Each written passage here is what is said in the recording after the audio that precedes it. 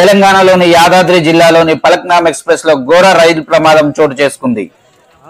భారీ ఎత్తున మంటలు చెలరేగడంతో దీనిలోని రైలును పగిడిపెళ్ళి బొమ్మాయిపల్లి మధ్య రైలును నిలిపివేశారు. ఈ ప్రమాదంలో మూడు రైలు బోగీలు పూర్తిగా మంటల్లో కాలి దగ్గమయ్యాయి.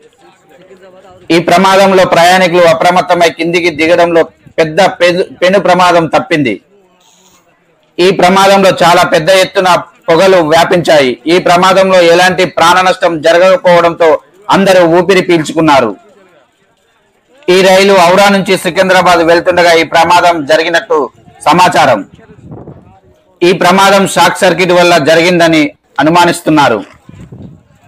ఈ ప్రమాదంలో మూడు బోగీలు S four S five S six మంటల్లో కాలినట్టు సమాచారం. ఈ ప్రమాదాన్ని గుర్తించిన లోకో పైలట్ ఎమ్మటే రైలును నిలిపివేయడం జరిగింది. ట్రైన్ వెమ్మటే నిలిపివేయడం గమనించిన లోపలున్న ప్రయాణికులు వెంటనే కిందికి దిగిపోయారు. సుమారుగా మూడు వందల డెబ్బై మంది ప్రయాణికులు ఈ ప్రమాదం నుంచి బయటపడ్డారని తెలుస్తుంది. ఈ ప్రమాదంలో ఎలాంటి ప్రాణ నష్టం జరగకపోవడంతో అందరూ ఊపిరి పీల్చుకున్నారు.